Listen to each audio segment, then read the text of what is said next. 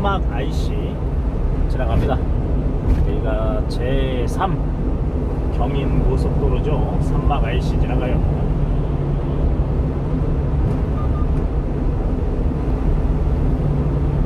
아 제2 제2 경인 고속도로죠. 여기가 제2 제2 경인 고속도로